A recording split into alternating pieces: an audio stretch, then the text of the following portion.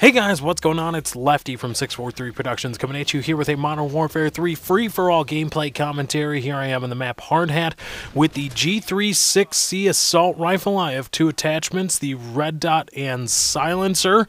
Now, I wanted to talk with you guys today about Call of Duty being built for noobs, and specifically this time around, Modern Warfare 3 being built for noobs. I did a video a while back where I talked about specifically how Call of Duty, as of right now, as a franchise, as a series on console, is built for noobs. It is built to be as accessible as possible by any and every gamer that one could hope to find on the street. It is designed so that those fringe gamers, those those people that that don't consider themselves quote hardcore FPS players are able to do well and not only are they able to perform manageably, but they are able to perform with enough enough success that they return and they keep buying Call of Duty titles. Now that was that that video was received actually quite well surprisingly, but it was really of my own creation. It was just it was me saying, "Hey, you know what? This is this is just what I think. This is what I see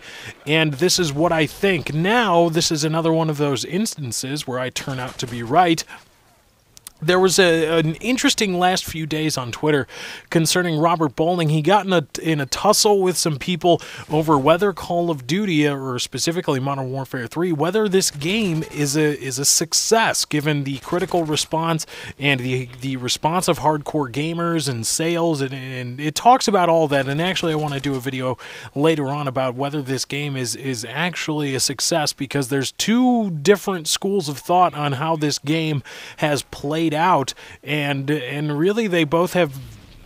Well, no, one of them has a good argument. The other one is just kind of well, it's Activision, so there you go.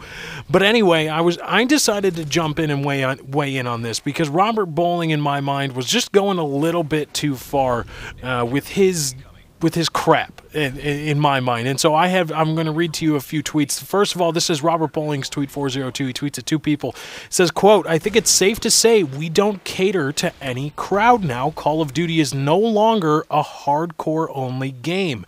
And my response to 402 is, "Quote: That's a pretty big logic fail. If Call of Duty no longer caters only to the hardcore, then you must have started catering to others." And then I said, "Just admit without equivocations of any kind that you made this to be as accessible by noobs as possible. That explains the double talk on Final Stand, the potent death streaks, nonsensical revenge spawning, OP weapons, etc. Just say, quote, yes, we made this game so as many off the street casual gamers as possible would do well enough to keep buying Call of Duty. Those were, of course, spread across a few different tweets. And this is Robert Bowling's response quote, at Lefty643, our goal with Modern Warfare 3 was to give you a platform to play how you want, making it, ex- making it accessible to everyone and to cater to no one.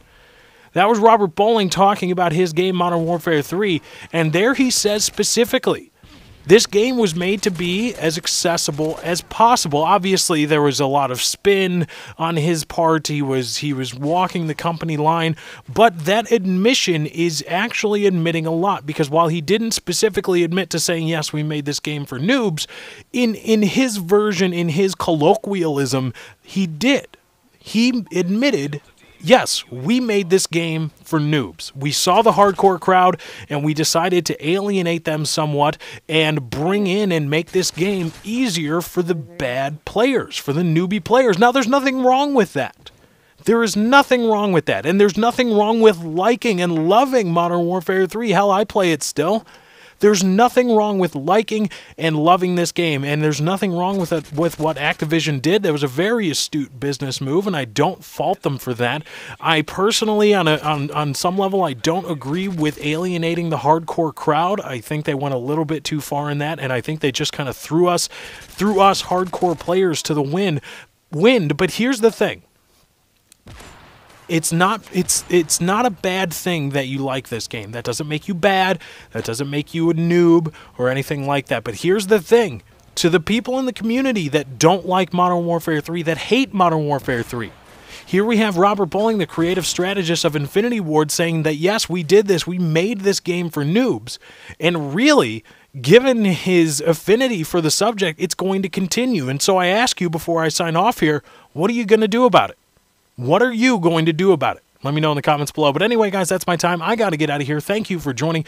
I hope you enjoyed. Be sure to drop a like on this video if you did enjoy. I am out.